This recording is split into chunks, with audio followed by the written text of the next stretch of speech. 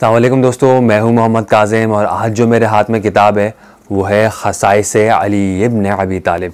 और ये जो है वो इमाम नसाई की किताब है और ये तकरीबन जो है वो 1100 साल से भी ज़्यादा ये पुरा इस किताब की ख़ास बात यह है कि इमाम नसाई ने मौलाए मुतकियान अली इब्न अबी तालिब के ऊपर 179 के करीब अहादीस रसूल सल्लल्लाहु अलैहि वसल्लम किताब में जगजा की है। इमाम नसाई के हालात में और इनसे मनसूब है कि उनको इस किताब के लिखने की वजह से जो है वो कत्ल किया गया। क्या अजीम सादत है? ये सादत जो है वो हमें भी मिले। असल किताब तो अरबी में है।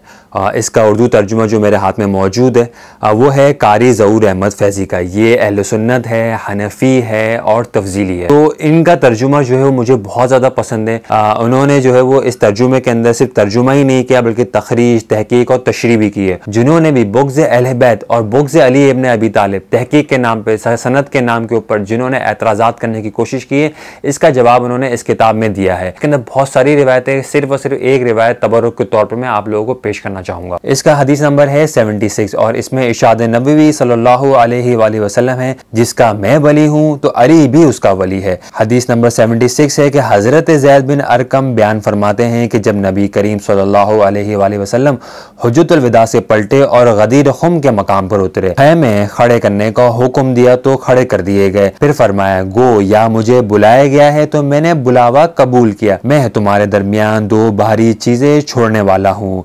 इनमें से हर एक दूसरे से बड़ी है। अल्लाह की किताब और मेरी अहल बैत। बस तुम गौर करना इन दोनों चीज़ों के बारे में। तुम मेरा कितना लिहाज रखते हो बिलाशुबा ये दोनों चीज़ें एक दूसरे से जुदा नहीं होगी। हत्या दोनों इकट्ठा मेरे पास हौज कौसर पर आ जाएगी। बेशक अल्लाह ताला मेरा मौला है और मैं हर मोमिन का मौला हूँ। फिर आपने हज़रत अली का हाथ पकड़ कर फरमाया, जिसका मैं मौला हूँ तो ये भी उसका मौला है। ए अल्लाह, उस शख्स से मोहब्बत कर, जो अली को महबूब रखे, उस शख्स से अदावत रख, जो अली से अदावत रखे। ये किताब जो है, वो आपको हर जबानों के अंदर, इंटरनेट के ऊपर पीडीएफ भी मिल जाएगी और मार्केट में भी ये किताब अवेलेबल है।